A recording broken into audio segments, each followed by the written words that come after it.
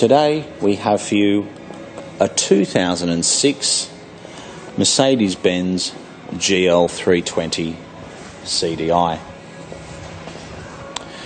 It's Mercedes Benz seven seater.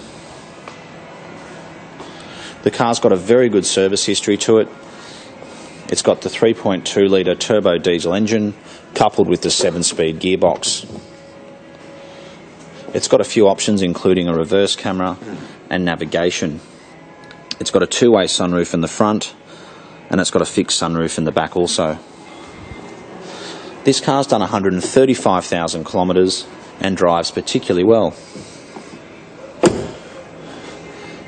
The previous owner has put some a good set of tyres on it. It's got Michelin's on the back, uh, Continentals on the front, both very, very good tyres. So it's a seven seater. This is your middle row. It's got two uh, seats in the very back also. The best thing about this seven seater is you can actually seat two adults in the very back.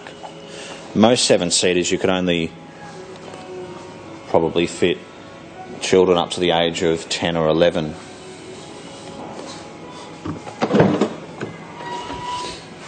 So even with the very back seats up, You've still got space in the back. And one of the best things about these GLs is they've got electric rear seats. So if I simply press this button over here, as you can see the seat folds down flat and out of the way.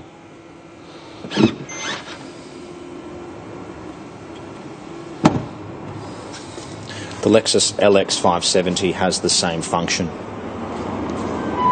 It's got a Mercedes Benz tow bar, rear parking sensors as well as a reverse camera. This colour is called Cubanite and it's a very nice Mercedes Benz colour. The wheels are in particularly good condition. This car is very capable off road. In fact, I'd go so far as to say it's much more capable than most other SUVs.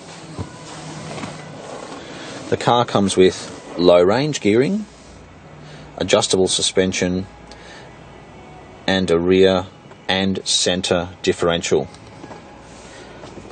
which is pretty much everything you can get in terms of off road ability.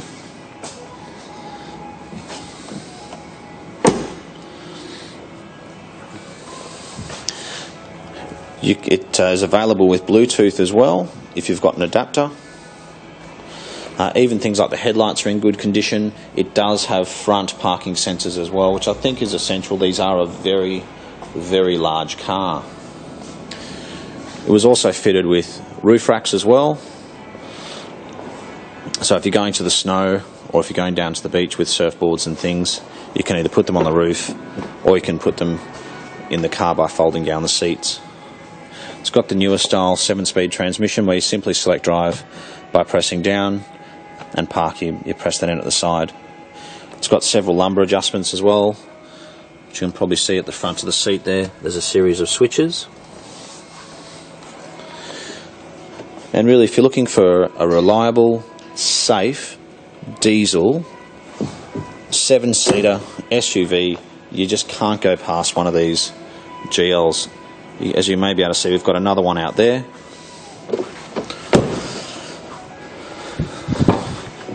And uh, the resale on them we've found has been very good. The car's done 135,000 kilometres. If you are looking at these GLs, you'll you'll see them online with well over 200,000 kilometres. So this car has a very very long life ahead of it still, if well serviced. So thank you again for watching. Our dealership is located in Marrickville. We are the Oldtimer Centre we specialise in European cars and have about 70 vehicles in stock. Thanks again for watching, and I look forward to hearing from you.